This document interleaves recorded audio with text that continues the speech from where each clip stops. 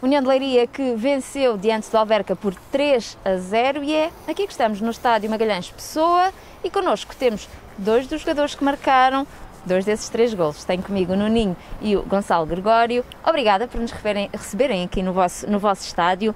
Já sei que tiveram ainda há pouco a tentarem conhecerem-se um bocadinho ainda melhor do que já se conhecem, mas se calhar não vos vou fazer as perguntas que vocês tiveram ali a testar. Mas para já, começar por vos perguntar, até para ficarem mais à vontade, uh, um balanço da época até agora, Gonçalo. Que está a ser muito positivo. A equipa é nova, uh, nova no sentido de não nos conhecemos uns aos outros assim tão bem mas estamos a criar um bom entrosamento, um bom espírito de equipa, uh, estamos a assimilar as ideias também do treinador e tem corrido tudo bem, felizmente. Bem, Nuninho correu também este último jogo, estreaste uh, a marcar, como é que foi, o que é que recordas também deste momento? É muito bom voltar a, a marcar e com os nossos adeptos aqui no estádio, fiquei muito feliz e foi uma vitória por eles, isto também merece. Gonçalo, tu já tinhas marcado, aqui voltaste também a marcar, consegues recordar o momento do gol? Deste ou do deste, outro? Deste, deste. Sim, sim. Foi uma jogada que por acaso ensaiamos bastante. A jogo longo nós seguramos lá na frente, seja eu ou outro qualquer. Depois fazem um movimento na ruptura, o Jair foi mais forte, ganhou e depois ofereceu o gol e pronto, e fechámos todos juntos. Uma vitória também importante, porque vocês acabam por reforçar também aqui o primeiro lugar uh, na liderança, juntamente com o Torriense também. Objetivos uh, individuais, Gonçalo, para esta época? Eu tento marcar sempre em todos os jogos que vou, eh, se possível mais do que um gol até. Uh, por vezes vou conseguir, por vezes não, mas sempre também com o pensamento na equipa. Uh, se tiver que trabalhar mais e não marcar e outro marcar e a equipa sair vencedora, é isso que eu vou escolher. Mas claro que durante a semana e durante o dia de jogo penso sempre no gol e ele acaba por sair naturalmente, como tem acontecido. Nuninho, e para ti, os objetivos individuais e também uh, da equipa, quais são para esta época? Os meus objetivos individuais é sempre ajudar a equipa. Acho que é o, o fundamental se a equipa ganhar, eu também vou ganhar e vou ficar feliz. E para ti como é que tem corrido aqui esta adaptação à Leiria? Tu que és de Pevidém, já também já passaste por outros, por outros clubes, estiveste no Felgueiras mais recentemente, mas como é que tem sido a adaptação aqui mais a sul? É uma cidade nova, mas faz-me lembrar muito Guimarães. Acho que é, é tranquila, uma cidade muito tranquila. Acho que difere é as pessoas. As pessoas em Guimarães são muito mais agitadas, aqui são mais tranquilas. Se calhar a vida também mandou-me para aqui porque eu precisava de assentar um bocado, não sei, de, de acalmar. Gonçalo, ele acalmou ou não? Acalmou. Não conheceste já? Epá, agora está-se a soltar um bocado, mas eu consigo metê-lo no sítio. Olha, que características é que achas que o Nuninho tem enquanto jogador? Uh, vocês que jogam ambos como avançados, uh, como, quais são as características dele que achas que ele tem e que característica dele é que tu gostavas de ter?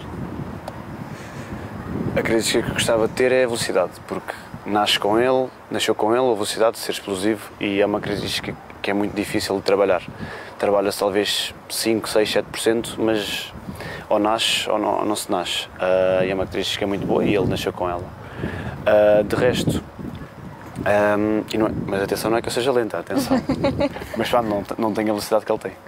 Um, outra característica dele, uh, joga bem entre linhas, está sempre ali a tentar um, estar nos espaços, espaços uh, para se virar, para isolar jogadores. Também cruza bem, também consegue fazer assistências. Estou sempre a dizer para me fazer assistências, senão vamos chutar com ele e depois, pronto, ele não quer isso para ele.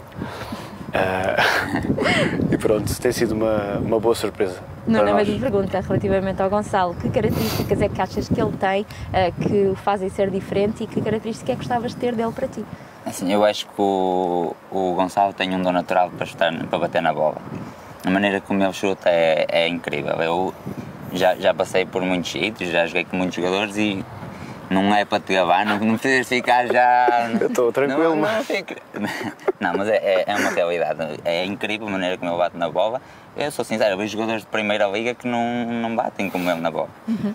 E não vou dizer que não é, eu com esta pantufa, claro que quem me dera conseguir estar como ele, gostava, mas com trabalho vou lá. Eu sei que, aliás, daqui do tempo que estiveram a conversar antes deste nosso, desta nossa entrevista, também já ficaram a conhecer-se um bocadinho melhor, inclusive é também o tamanho do, do, das chuteiras, até já sabem o tamanho das chuteiras, mas, Nuno, sei que aprendeste algo muito importante sobre a vida do Gonçalo, que é o nome do clube onde ele esteve a jogar na época passada. Ah, sim, isso é verdade.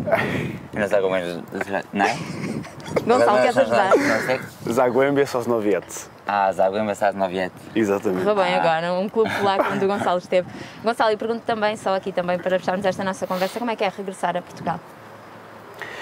É muito bom, principalmente por estar em casa, por uh, ouvir simplesmente na rua o português, a nossa língua, quer se queira, quer não, só de estarmos aqui sentimos-nos em casa.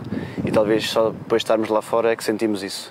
Uh, e pronto, estar no balneário português, estar mais perto da família, amigos, é, é sempre muito positivo e muito. É aconchegador.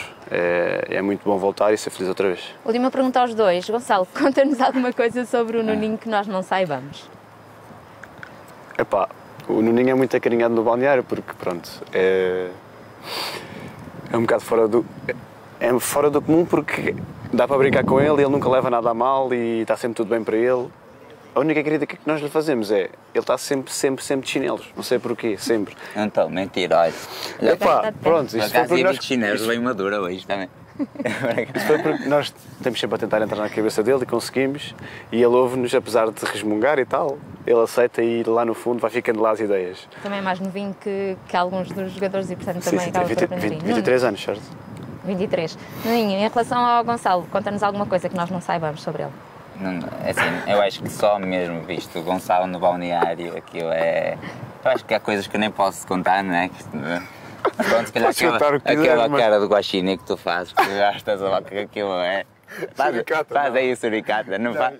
Não, isso é muito, não muito, muito particular. é, o suricata fica para balnear, não pode, não pode mostrar. Muito obrigada aos dois por esta conversa divertida aqui também no Estádio Magalhães Pessoa, no Ninho e Gonçalo Gregório, dois jogadores deste plantel do União de Leiria, União de Leiria que segue uh, no primeiro lugar da Série B do, da Liga 3, uh, eh, juntamente com os mesmos pontos do Torriense, mas segue então na primeira posição com 10 pontos.